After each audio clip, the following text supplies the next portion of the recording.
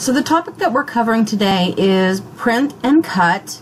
And what you see on my screen here are some mailing labels or labels that I put on my boxes that I'm shipping out with my website address in this cute little floral spray here. Um, I've already designed those and if you have any questions about that that can be asked in the group or if you want to leave a comment in the video um, I can try to walk you through parts of that.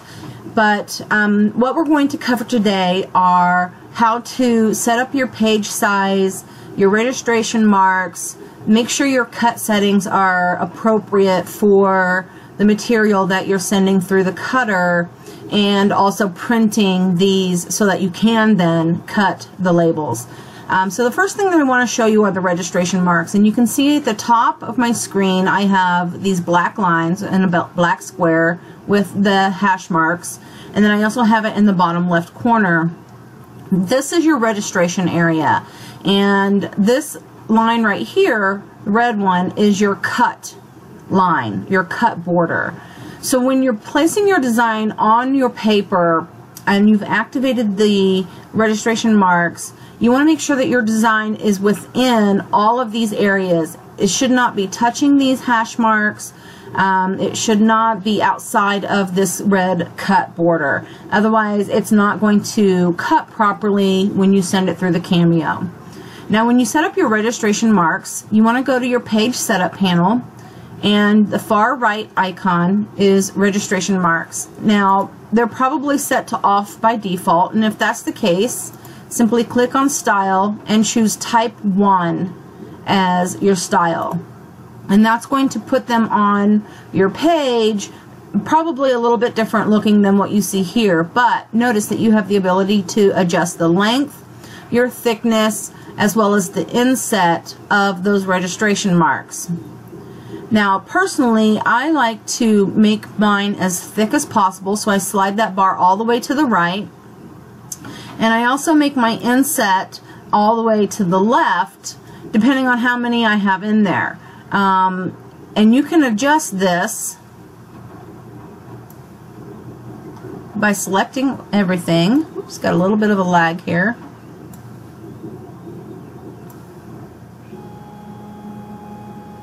If you need to do that, you can move it. And you also see that there's an advanced option arrow. And you can click on that to expand it and if you wanted to adjust the bottom inset up, then you can go ahead and do that. Where this can be helpful is if maybe you're only printing um, one big label or, you know, one big design and you want to save half of that paper for another project later on, you can adjust this higher to save that space. Okay, I'm just going to put mine back down. Okay, you can see that it also adjusts your cut line here as well. Now once you have your registration marks set, then um, what I like to do is just check my cut lines and make sure that everything is going to cut that I want to cut and nothing extra. For instance, if I did not want to cut anything in the middle, then I would select it and then choose no cut. But as you can see now, my bold red line is only on the outside of the label and that's where it's going to cut only at this point. Now you can send it to print from either the design workspace by clicking your printer icon in the upper left corner. You can do file, print, but you can also see that there's a shortcut. Um, if you're like me, I'm a keystroke shortcut person. So I would do Control P. And they're all going to get you the same screen that's coming next. Which is pick your printer. Where do you want to print this? Okay, so you would pick your printer. You would click print. And then it's going to print out the design on whatever medium that you have, whether it's cardstock, paper, sticker paper, um, printable vinyl. So those are the things that you would feed into your printer. It would print out, it would have your registration marks as well as your design. Okay, now I've already printed mine, so I'm just going to go ahead and click cancel.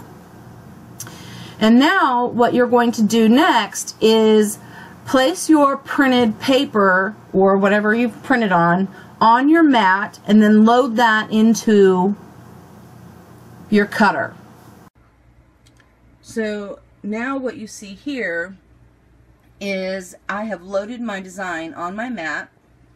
I have it lined up with the arrows and the lines here. This is the edge of my mat. Okay, and I'm getting ready to send it from the software and it's going to start reading the registration marks.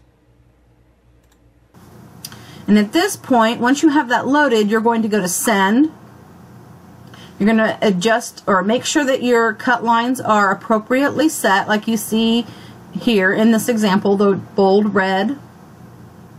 And then your material is going to be the most important piece here. What are you cutting on? So if you're choosing cardstock, make sure you're checking, um, selecting the right style. Now I created my own for Kiss Cut stickers. Okay, so you can see that it's set to cut. I always use a ratchet blade, and then these are my settings. So my blade, if it's an older blade, it's three. Usually it's going to be on a two. And remember with a ratchet blade, you're manually adjusting that. If this was an auto blade, what you set here for the blade depth is what the machine is going to automatically set for you. So make sure that this is selected appropriately. My speed just depends on how intricate of a cut that I'm going to do. Um, it varies between a 5 or a 6 for me, usually on this. Um, and then the force, because I'm doing a kiss cut, um, a 6 is perfect. It's just going to cut the top layer of that sticker material or that label material and it won't fully cut through the entire label top or bottom or the backing of it. And you only need one pass of that. So when you're ready to cut, you're going to move down to the bottom and you'll click send. If you wanted to do a test cut, you can choose this test button here. It will do a test cut of a triangle and a square and then you can send it to your printer. Excuse me, your cutter.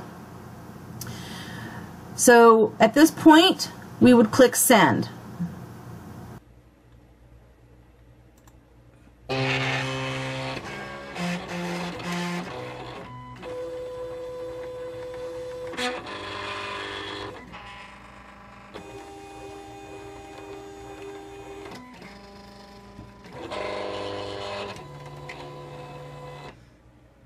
And now it should begin to cut. Maybe? There it goes. A little bit of delay because of the Bluetooth.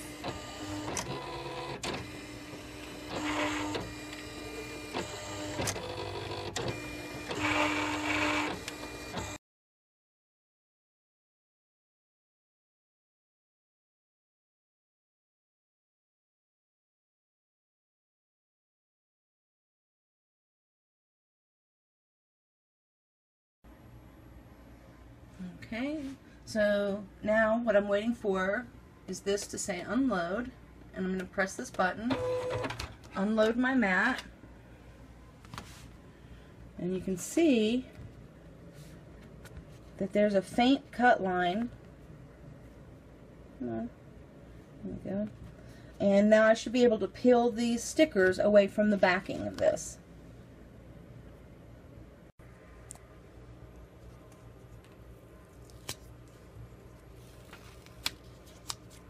Perfect Kiss Cut stickers.